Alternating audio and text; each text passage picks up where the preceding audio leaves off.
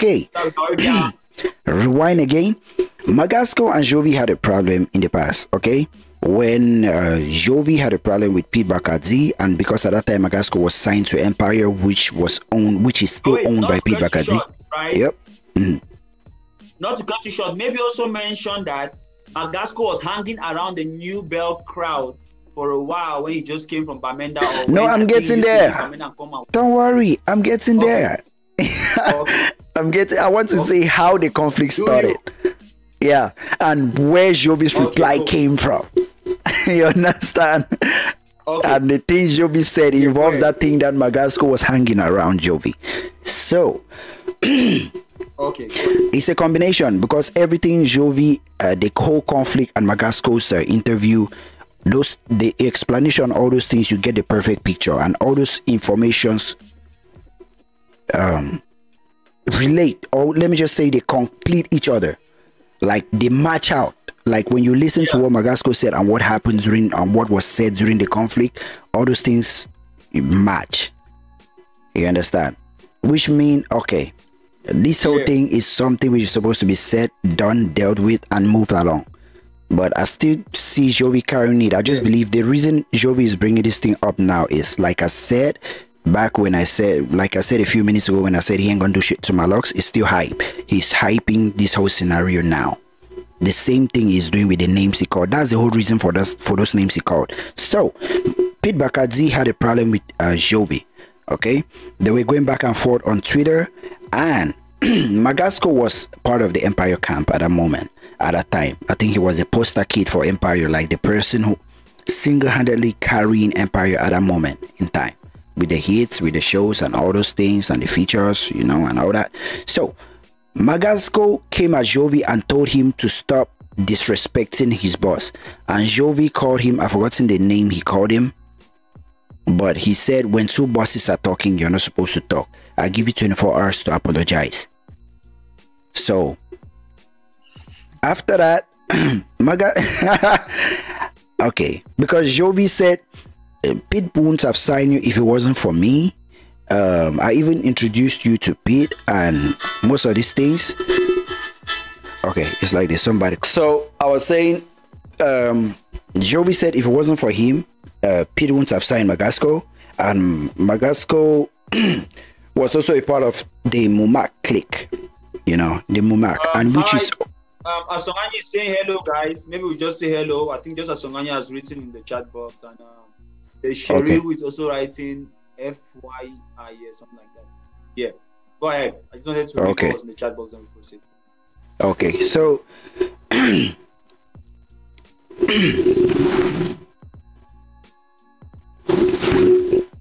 okay, so um, um, Jovi told him if it wasn't for me, you wouldn't have been signed. I wouldn't have signed you and all that. So what Jovi was referencing because very few people know, and Magasco gave the full picture of it.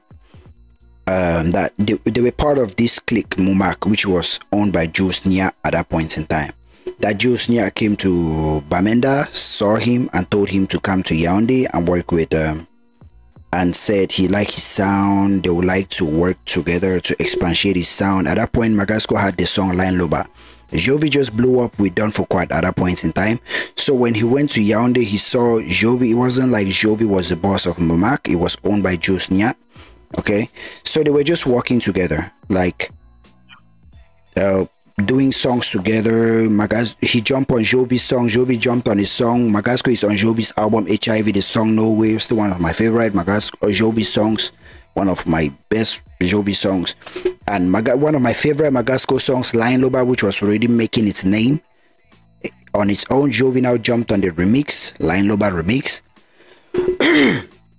so, um, uh, Magasco said during that time there was no contract signed when they were working with Mumak. Okay, there was no contract signed, and Jovi decided to leave to create um, New Bell Music when everybody was with Mumak. So that's how Mumak started crumbling and everybody started spreading and moving away. Right? So Pete, the way Pete found out about him is his song um, Fine Boy. Okay, because he said Yeah. Pete heard the song Fine Boy on um, not just uh, at least NotJustOk.com, that Nigerian blog that they used to download music from in those days. That blog. So he heard the music Yeah. there, and so many Nigerians were playing it. And when he's let's just say in a public place and he said that's my song, so many guys will refuse. Like that's a Jamaican or that's a Jamaican vibe. And Pete heard the song and he liked it. So I think somebody told Pete that that song is owned by that the guy who has that song is Magasco. You know. So he had it's Magasco. So he said, Are you sure that's a song? He said it's a song. He showed him the, the this, that, all that.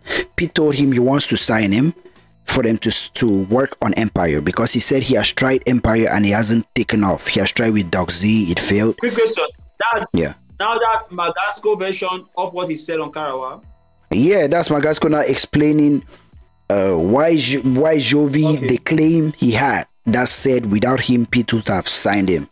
The claim he was trying to debunk that claim and said he had nothing to do. The yeah, and why he took Pete's side. Okay. You understand? Because he said he's a family man. He, he he's loyal. He's a loyal person. If he's working with you, if he's hanging around you, he always got your back. That's what Magasco said. So that's why he replied because Pete told him he want them. He wants him to work with them. Now, when Pete even signed the contract with him, Magasco said he stayed for almost a year, almost two years without eh, hearing anything from Pete. They just signed him and kept him. And the day Yeah. Pete said, let's go, it was a go and the hits started coming, hits were coming, hits were coming. So Magasco saved Empire. Magasco saved, made Pete realize what he was doing could work because he has tried with Ex Malia, it failed. He tried with Doc Z, it failed before. You understand? Yeah. So after that, at that point, Yeah. Empire was just like a family. So Pete used to pay producers to produce songs for him and other guys, but he discovered that Magasco could produce. So Magasco ended up producing songs for so many artists, like in Empire, and producing Pete's own songs. Doing hooks for Pete, even has Yeah. a, a joint album with Pete. You know, has reference songs that he produced for Pete and Puzzle mix and master them. You understand? So that whole sy- system, he was just like the backbone of Empire, the producer and the lead artist and the vocalist and all these things.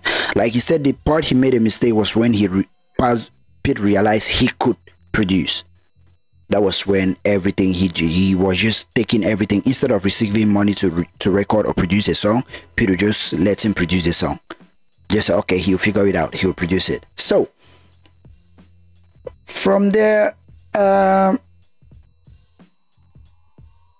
okay, going now to Jovi saying without him, Pete, Pete wouldn't have signed him. Magasco said that wasn't true. Okay, that that wasn't the case of Jovi signing him. So fast forward, he Yeah. said at that point in time he took Pete's side and replied because he saw Empire as his family and when Pete was going at Jovi, he was just sitting. He never knew it was happening and his fans started tweeting and telling him, Hey, you go she don't say they go at your boss, you know go talk. You leave am, you dey leave and they dey talk so at your boss. That's where Magasco said, okay, he was young and dumb at that point, and they were going at the boss of his family, so he had to to react. And they asked him when Jovi said he gives you 24 hours to reply, or else. He said he, he knew Jovi was trolling and joking because Jovi wasn't gonna do any shit. That and Jovi did nothing. He said he did not reply and he did not apologize, and jo- Jovi didn't do anything. And he knew Jovi was just doing that for hype and. uh, you know but right now he's not with empire. There were some things that were not working with empire so they decided to split. And yeah right now the conflict he has no problem with jovi because they don't even talk that much. They never had a relationship at first because at mumak they were just together working. It's not like they were close or buddies and all that.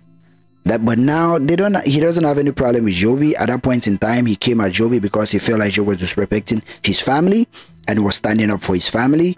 But right now he doesn't think he has any problem with Jovi and he doesn't know if Jovi thinks the same. But Jovi just recently now made us understand that he's still living in 2018 or 2017.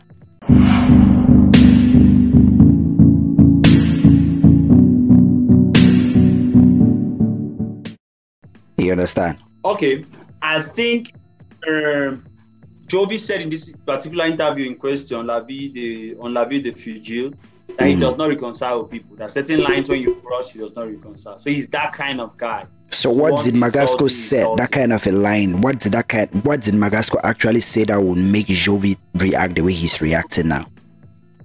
like yeah worst of all when he mentioned pascal the journalist was like what even pascal he was like yes Abeg, eh. he mentioned pascal's name today say I know. so Mhm. coming back to magasco's case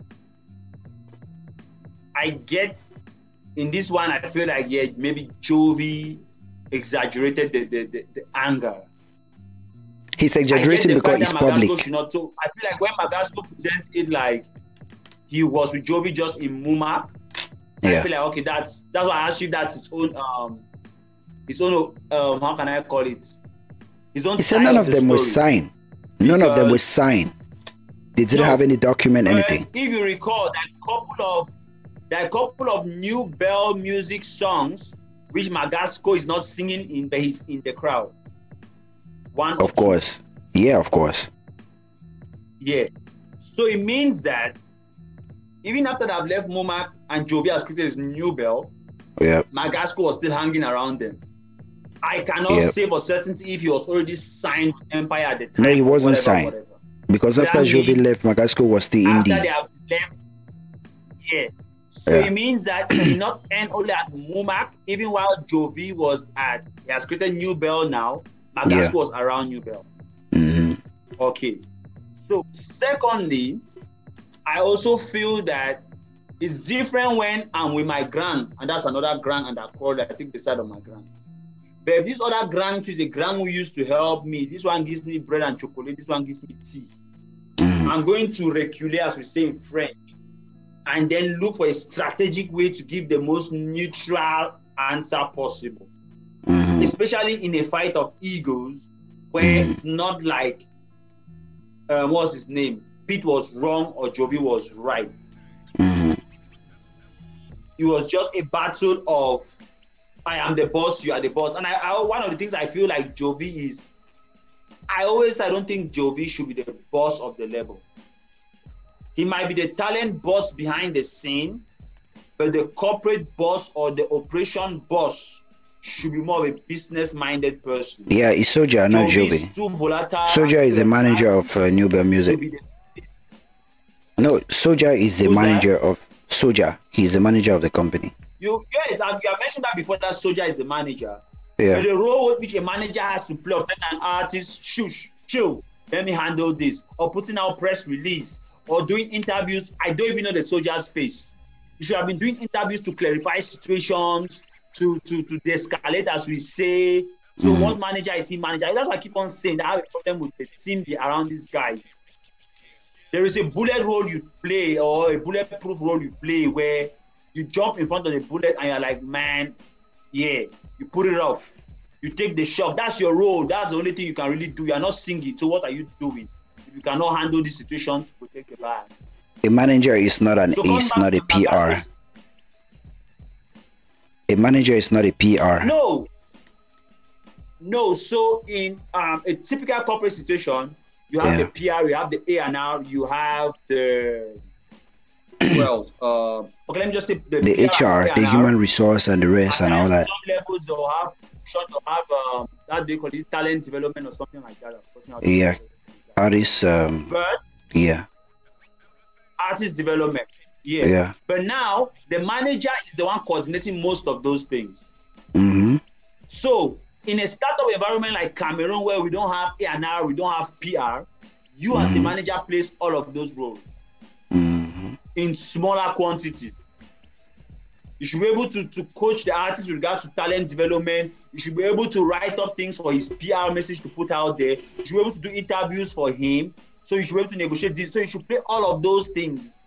And that's what people, when you do management training, you do a little bit of marketing, a little bit of IT, a little bit of accounting, a little bit of because you'll be called upon to manage all of these arms of a business. hmm So if someone calls himself a manager, even if you are not the PR, you should be able to take some of those bullets in small doses, especially when in a startup environment where you don't have those arms of the business, you have to fill Mhm. those blank spaces.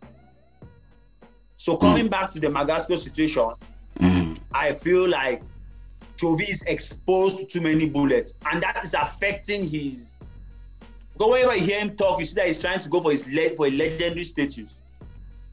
But if your legendary flag is always being dragged in the mud from now and from now and then, it's difficult for you to establish that status.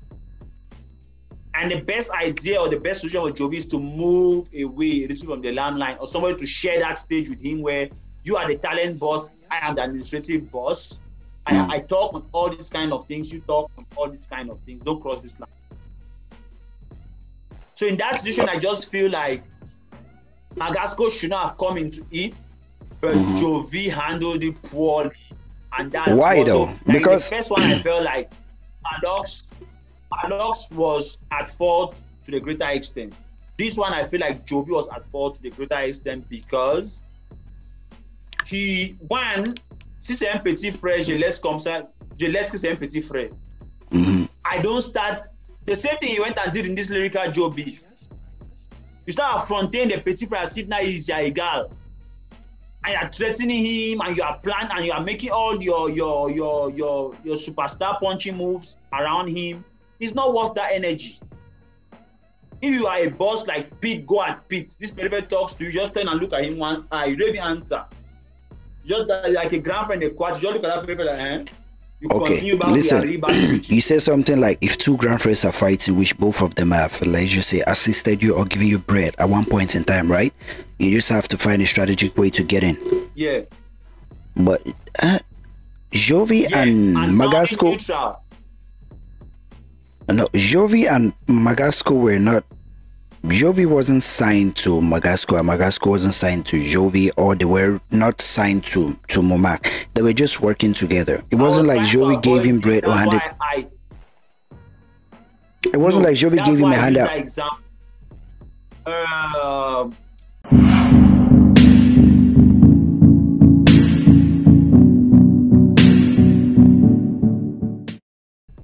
I don't know how much I've involved in the industry in Cameroon, but there's that tendency when people are better off, they start disrespecting those who look like their lifeline at the time when they really had nothing. So Mm. to say that Jovi did not give him any bread at any time, I don't feel like it's cool. For Mhm. me, I don't know, I don't mean bread like real bread, Mhm. but I mean like even just Exposure. the shine which he was giving him in those videos at the time when he was not yet a star like that was worth Mhm. something. And I'm very sure knowing how, but I'm just guessing, I may be wrong. But I'm very sure knowing how the industry goes.